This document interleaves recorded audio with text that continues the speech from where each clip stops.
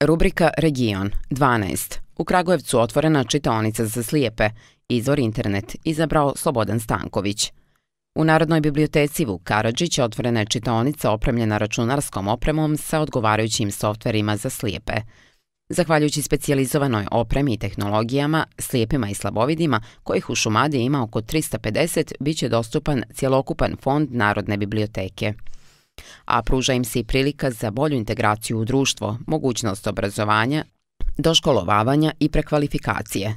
Čitaonica je dobila na poklon desetak naslova poznatih književnika od Saveza slijepih Srbije, čiji je predsjednik Milan Stošić najavio da će se fond stanu uvećavati i da će taj Savez biblioteci u Kragujevcu nastaviti da obezbjeđuje trajne i knjige u audio formatu – Ovo je značajan događaj za našu populaciju jer je na ovaj način stvorena ta pogodnost da slijepi i slaboviti uz adekvatnu opremu mogu da budu korisnici biblioteke.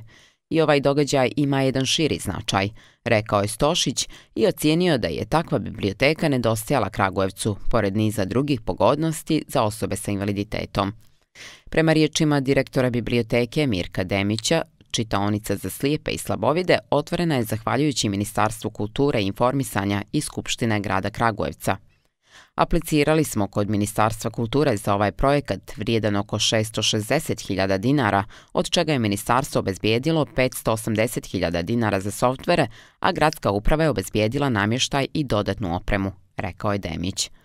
Naglašavajući da će narednih nedelja biti pripremljena ekipa koja će biti na raspolaganju ljudima koji žele da čitaju, a imaju problem sa vidom, Demić je rekao da je zadovoljan ne samo što Narodna biblioteka formira specifičnu biblioteku za slijepe i slabovide, već i zbog humanih razloga da se pomogne ljudima kojima do sada nisu mogli da izađu u susret.